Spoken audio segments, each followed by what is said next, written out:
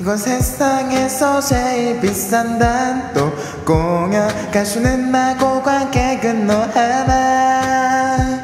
화려한 막이 의제고 돌아가기 전에 그저 몇 가지만 주의해줘요.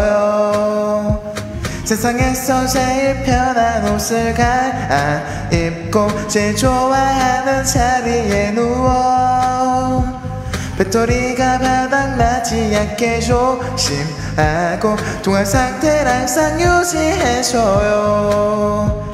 듣고 싶은 노래를 말만 해 everything 입이 심심할 때는 커피 받고 매는데 너무 부담 주지 말고 편하게 들어줘. 아니 내가 너무 떨리니까 오직 너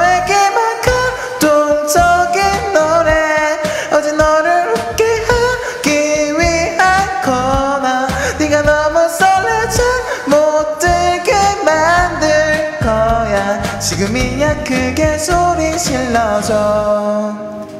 누구보다 특별한 너의 취향을 알아. 달콤한 데 슬픈 듯 아찔하게 맞지? 근데 다음 곡이 중요해. 볼륨 높여봐. 기억나니 우리 그날 그 노래.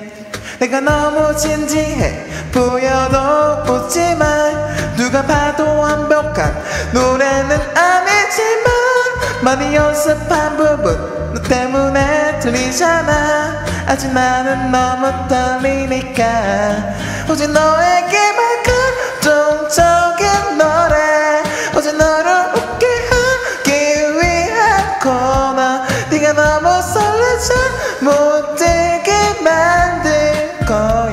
지금이야 크게 소리 질러. 이 공연은 거의 다 끝나가고 있어. 어땠는지 말해줘 문자로.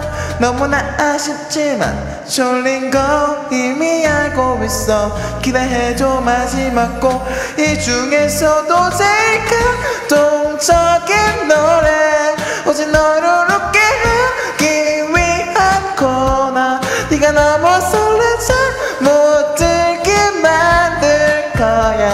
지금이야 제일 원하는 걸 너의 어떤 노래 듣고 싶어서 사실 내가 원해 네가 너무 설레지?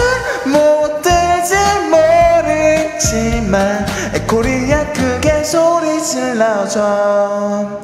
그 세상에서 제일 비싼 단도 공연. 가수는 나고 관객은 너 하나